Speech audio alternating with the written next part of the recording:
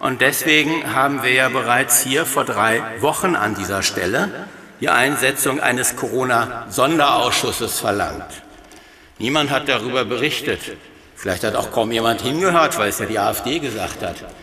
Ja, und jetzt drei Wochen später setzen Sie einen Corona-Sonderausschuss ein und jeder berichtet darüber, aber ohne zu erwähnen, dass der erste Aufschlag dazu von der AfD-Fraktion gekommen ist.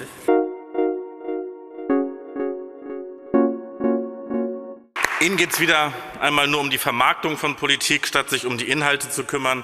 Und es würde mich nicht überraschen, wenn Sie schon Ihre nächste schmutzige PR-Kampagne für Social Media vorbereitet haben, für die Sie heute den Antrag gestellt haben und nicht, um für das Wohl der Hamburger zu arbeiten.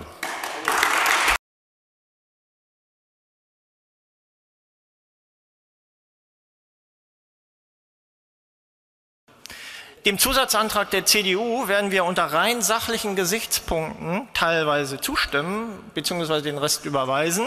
Er beinhaltet die Kernforderung des AfD-Antrages.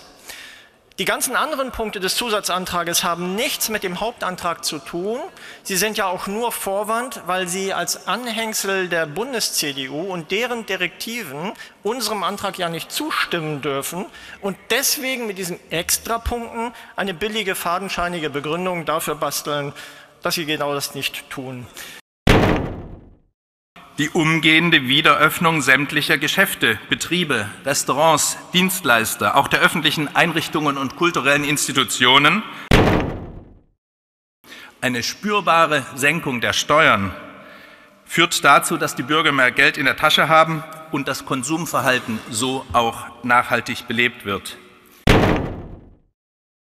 Wir fordern den Solidaritätszuschlag endlich vollständig und für alle zu streichen. Gewalt in der Gesellschaft geht uns alle an. Hinter den Statistiken, Zahlen und Fakten stehen Menschenschicksale.